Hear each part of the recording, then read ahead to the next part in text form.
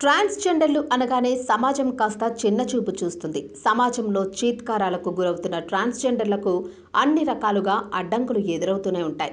వాటిని ఎదుర్కొంటూ జీవన పోరాటం చేస్తూ ఉంటారు. అయితే ఇలాంటి వారి సమస్యల్ని ప్రభుత్వం కాస్త సీరియస్గా తీసుకుని వారి కోసం అనేక సౌకర్యాలను కల్పిస్తూ వస్తుంది. సమాజంలో ఒక్కరిగా వారు కూడా ఉండాలని ఆశిస్తోంది. ఇందుకోసం వారిని ఉత్సాహపరుస్తూ తెలంగాణ సర్కార్ మాత్రం అన్ని రకాలుగా అండగా ఉంటుంది. వాళ్ళకు కూడా సంక్షేమ పథకాలు అందేలా చర్యలు తీసుకుంటోంది. హార్మోన్ల సమస్యలు ఆరోగ్య సమస్యల దృష్ట్యా వైద్యం అందించేందుకు ప్రత్యేక చర్యలు తీసుకుంటుంది. ఇందులో భాగంగా ఇప్పటికే వరంగల్లో మొట్టమొదటి ట్రాన్స్జెండర్ క్లినిక్ను అందుబాటులోకి తీసుకురాగా ఇప్పుడు హైదరాబాద్లో కూడా వైద్య సేవలు అందించే దిశగా చర్యలు చేపట్టింది.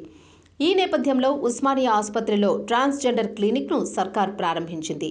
ఈ క్లినిక్ ఇప్పుడు అందుబాటులోకి వచ్చింది. అయితే ఇందులో సెన్సిటైజేషన్ శిక్షణ పొందిన వైద్య సిబ్బందే విస్తృతమైన వైద్య చికిత్సలను అందించనున్నారు. ప్రస్తుతానికైతే ఈ క్లినిక్ వారానికి ఒకసారి మాత్రమే అందుబాటులో ఉంటుంది. అది కూడా ప్రతి బుధవారం ఉదయం తొమ్మిది గంటల నుంచి మధ్యాహ్నం పన్నెండు గంటల వరకు. ఒకవేళ క్లినిక్కు వచ్చే వాళ్ళ సంఖ్య పెరిగితే దాన్ని బట్టి పని టైమింగ్స్ సౌకర్యాలను కూడా పెంచాలని నిర్ణయించారు. ఉస్మానియా ఆసుపత్రిలో తమ కోసం ప్రత్యేక క్లినిక్ ఏర్పాటు చేయడంపై ట్రాన్స్జెండర్లు సంతోషాన్ని వ్యక్తం చేస్తున్నారు. తమ ఆరోగ్యం పట్ల శ్రద్ధ చూపుతున్నందుకు ప్రభుత్వానికి ప్రత్యేక ధన్యవాదాలు తెలిపారు.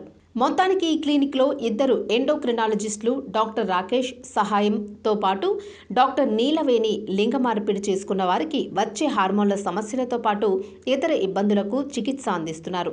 Gynaecology psychiatry plastic surgery urology ఇతర విభాగాలు కూడా అవసరమైనప్పుడు సహాయం చేస్తున్నారు.